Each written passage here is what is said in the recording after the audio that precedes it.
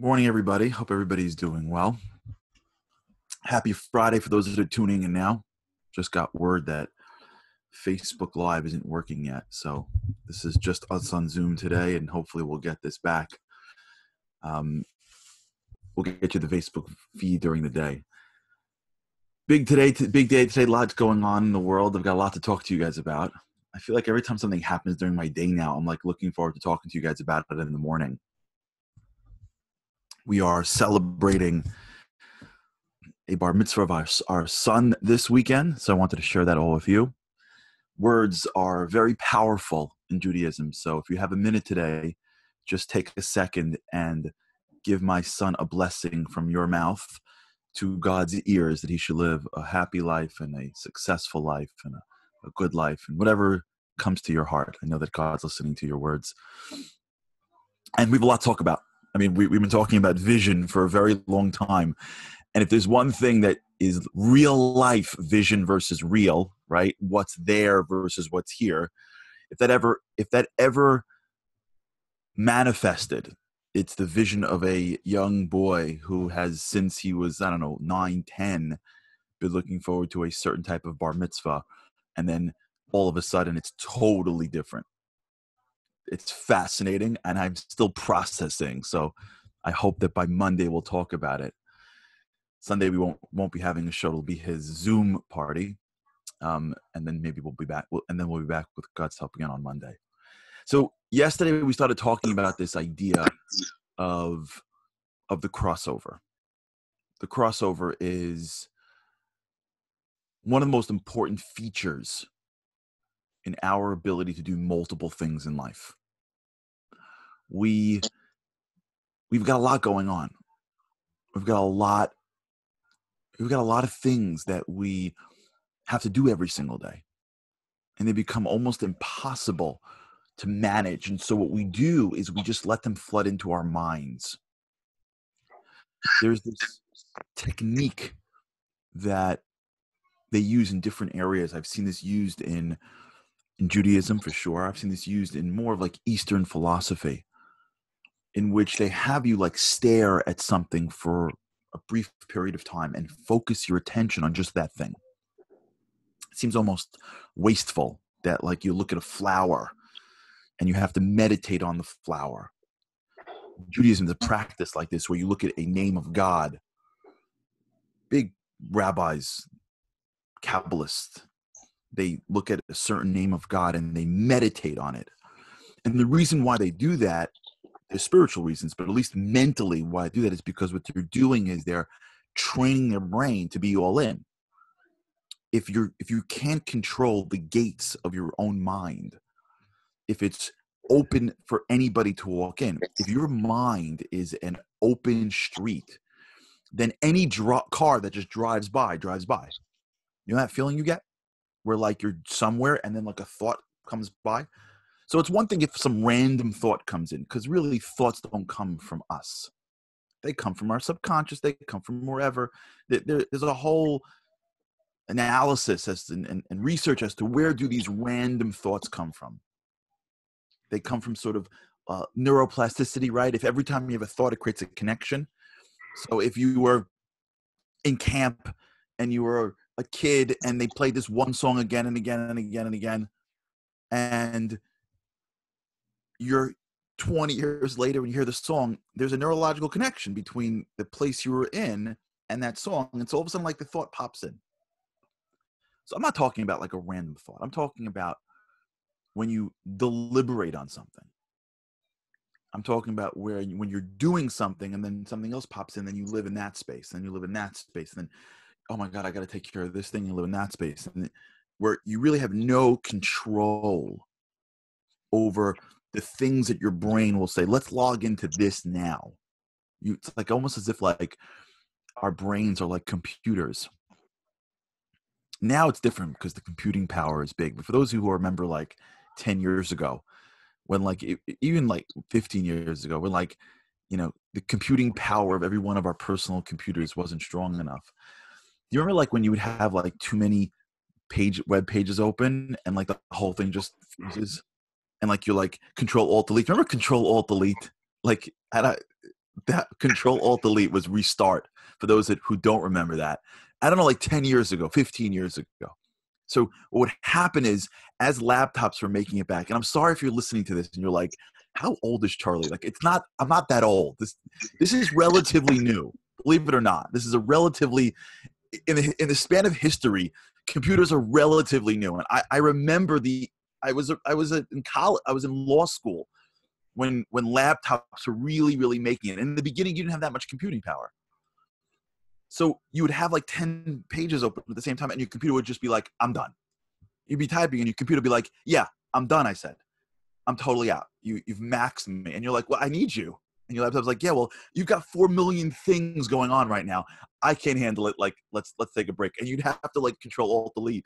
And then it wouldn't work. So you'd have to like restart the whole computer many times that, that's our lives we've got so many web pages open in our brain it's like we got 50 things happening every single second and oh i gotta go here and i gotta go here and let me let me let me leave this window open that window open and like it's like nonstop nonstop nonstop even even if you can't control it we don't even try to control it we don't even try to control it my daughters god bless them have this thing where they now my house is also a school. So um you know in the morning it's, it's it's a synagogue right? Like it's it's like everything you know thank god. Like it's classrooms at nine you know prayers are at eight. So like i have my corner and like at some point like some of my kids are younger and not interested and it's they're rocking and wrestling. And then i've got my girls who are like trying to pray in the morning and at some point i look around i can't find them and they left they in my they went to my backyard each one took like a spot and every day they pray in the backyard i'm like where'd you go they're like we just can't like we just can't. Like it's it's as impossible. So even in the chaos, we have to look for ways to find pockets of of, of clarity and peace. But we don't. We don't enough. And so the web pages are all open. And when the web pages are all open and our minds can drift in any which way, the muscle of mental attention is, is weakened we don't appreciate that the mind is a muscle. We think the mind is like a soul, like it's a dynamic enigma that, that I can't control. We, it's not. It's the it's big. It's the most powerful supercomputer in the history of the world. I'm not saying it's the same complexity as your abs, but it's still a muscle. It's hardware. It's not software you are the essential self is your software it's your energy your brain is a muscle that is going to react to the world to who the real you wants which means that we have to recognize that the brain is a muscle and we have to learn how to control the muscle. And with practice, we can extend the muscle. We spoke a few, I don't know when this was, maybe a week, although Andy, I'm sure, knows. We spoke maybe a week ago about the idea of ego depletion and willpower. At some point, we'll catalog some of these talks. This way, people can find it and if they're interested. And ego depletion is that our brain has a limited amount of willpower. Well, you can stretch that. You can't stretch it infinitely. You can stretch it. You can work it. You can maneuver it. Just like you can stretch your ability to run a marathon or do push-ups. It's harder. The brain is harder than your your ability to run, but it's still it's still malleable that's part of the the excitement of life is that you can change your brain but the one muscle that we don't appreciate is the muscle of concentration it's the muscle of being able to tell the thoughts as they come in i'm not focusing on you right now and let me be clear i don't mean that you, it's not going to come into your brain that thought i mean that when it comes into your brain the ability to not delve in it. You cannot control random thoughts. Those are not in our world. and we can delve into that later on in different shows. Random thoughts. Forget it. Don't even like, we're not even getting there. It's when we get the random thought, how much time do we spend emotionally in it? Do we know enough? Do we do we appreciate ourselves enough to know, okay, I got it. I'll deal with you in a half an hour. I'll deal with you in, in three hours from now. I'm doing this now.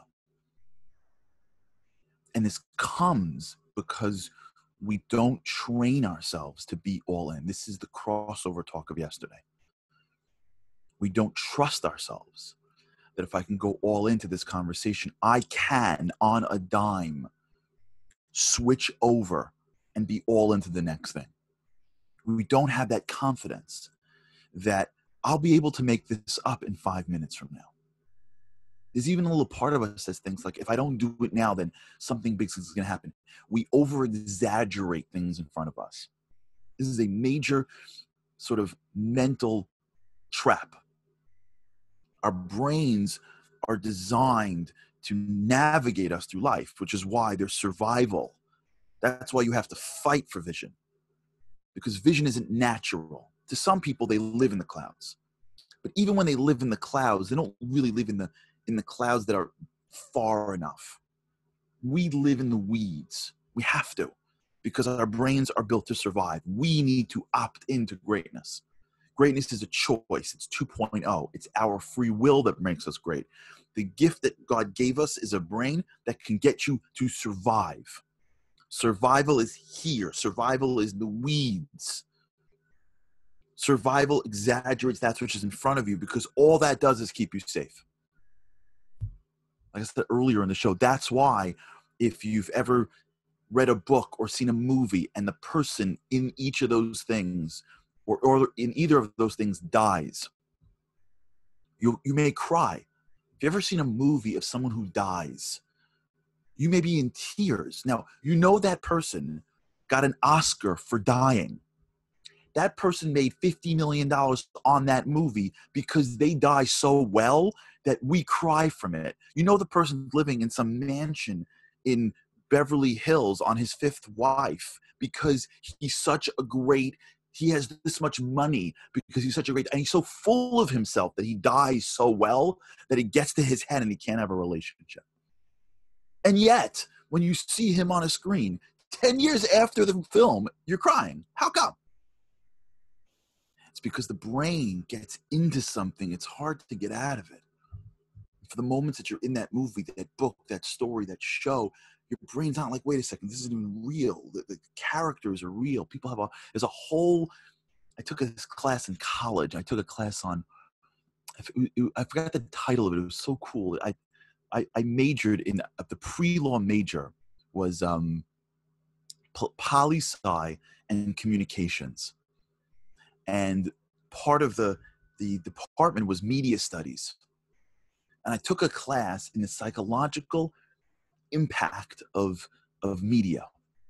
And they had these studies of people that saw characters out of character and they had like they couldn't even like like he's George Costanza. Like I don't understand what what else could he possibly be?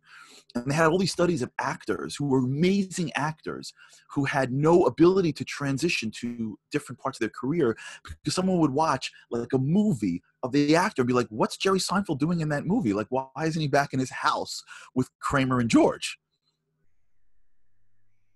So, this idea that we're in the weeds so much you could not know a team even existed in college basketball, and then mid March Madness, you're screaming at the screen for the foul call because you picked them on your on your on your bracket. Understand though that that's a great thing when you want to get to someplace, and we got to use it for our rituals, but that exaggerates things. It's dramatic when you get a phone call from your friend and it's like she said what and then now it's drama and it's emotion and you're in it and it's sucking up your day and you were focused on something and then you keep on being pulled back to that thing that really at the end of the day is an exaggerated thing that won't matter so much of what we do really is the exaggeration of what's core. This is, we're getting this lesson every second of our days now. So much of what we are involved in is the exaggeration of how what we need to be involved in because we run all the time. And when we allow ourselves to never discern between that which is critically important and that which is just urgent or feels important, we're, we're always being pulled. This is a great piece that I read years ago from one of the great authors, Steve Covey. He wrote a book called Seven Habits Highly Effective People. And in there, he has this four quadrant box. Maybe I'll send this out to someone. We got to figure out a way to have some kind of chat together, but we'll figure this out. Where he has in the box like urgent, not important, urgent, important, not urgent, important, and not urgent, not important. And he basically shows if you look at your life, much of what we're really doing is having our brains be dragged into things that are urgent but not important. Whereas if you put yourself and think through things that are urgent and important or non urgent but important, if you can discern between the two, you give yourself permission to tell the things that are not important, I got you. You put up a gate it's, it's a, such a big deal just to even try this. Practically, try this over the weekend. Try to do anything over the weekend. Try to sit with a book. Try to sit with some prayer. Try to sit and and and do your vision. Try to sit with a family member and have a conversation. Just try to do something all in and then watch your brain go, but we gotta, but we gotta, but we gotta, but we gotta. Did you, did you, did you, you? And just before you react, just be visible to your thoughts. Try, I'm telling you, it's gonna like blow it up. Just be visible. Go, oh, do I have to do that? Read a book, just so you don't person in front of you doesn't think like you're insane. Read a book, and then or write a vision or do something which requires the mind, and then watch the stuff happen. Mommy, can you do this? Mommy, can you do this? Daddy, can and just watch. And before you do it, don't do it. Just slow it down and go. Do I have to do this right this second? Can I just suck up some energy in my brain and focus more on what the task at hand is? Can I build up the muscle of concentration? Can I start to put the first brick down in the gates that will be the gates that protect the most valuable resource I have, which is my brain, my mind, uh, my brain, my mind. We're protecting jewelry. We're protecting things of of value to us, there's nothing more valuable that we have in our lives but our soul. But there's nothing more valuable that we have here than our minds. Are we protecting our minds? Do we have a gate up around our minds so the right stuff comes in and the wrong stuff doesn't even come in? If we don't build a muscle around our, our, our, our brains, our minds, how do we ever expect to go all in on something? oh because i have to because i have i forgot to i forgot to i forgot to. You know what that is? When you say i forgot to you know what you're saying stuff is if i don't do it now i'm never going to remember. Really? Why because when it happens we don't have an ability to to record it that means our whole lives is just like reacting to things that pop into our minds once we appreciate that concentration is a value into itself it's a muscle into itself and we start to work the muscle. That's why going all in is so critical. That's why the crossover is so important. That's why it's the same. That's why it's the hardest move, as per my coach that I met on the on the, on the plane last yesterday. I met him a while ago. We spoke about him yesterday. It's because players don't do this because they're scared. What if I go right? I can't go left. I really want to go left, but I, I if I go right, I'm not going left. I want to get to be left already. I want to go left already. I don't want to wait. I don't want to really fake because I want to be there already. It's our lives. But I got to do so much. But I got to do so much. I got so much to do today. I got so much to do today. But if I don't, but if I don't, but if I don't, but if I don't, I got to respond to that thing right away. He just emailed me. He just texted me. He just. E- Someone once said to me once, I'll never forget this. He's a close friend of mine. I was working really hard on a deal once. I was running some project and I took my family. We were, we were blessed to go to to a Passover program, and we land there. And I'm calling into the office, and he picks up the phone after a conference and goes, "What are you doing?" I'm like, no, I gotta take this. He goes, aren't you on vacation with your family? I'm like, yeah, but this has to happen, this has to happen, this has to happen. And I'll never forget him. He looks at me and goes, Are you an ER doctor? I'm like, no, I'm, I'm at that point I wasn't I'm like in real estate. So he says, Yeah, look at the things in front of you. Give it really look at it. Will this be here in a couple of days? I'm like, Yeah. He's like, Yeah. Go focus on what's important. If you back then we had beepers.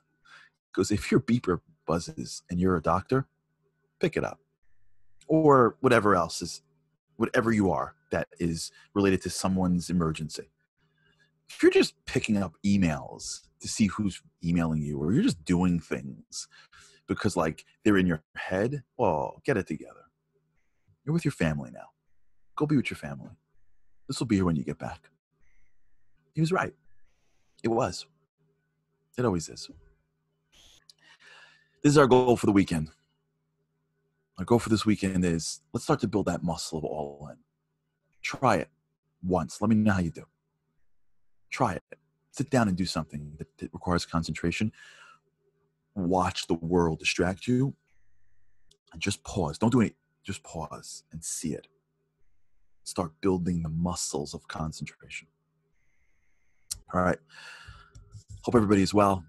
Looking forward to sharing. So we, are off on Sunday, and I look forward to uh, sharing with all of you um, the report of the bar mitzvah uh, on Monday with God's help. Pray for us, bless us, put us in your prayers, put us in your hearts, because your words are really powerful. I know God listens to the words that come out of your mouth.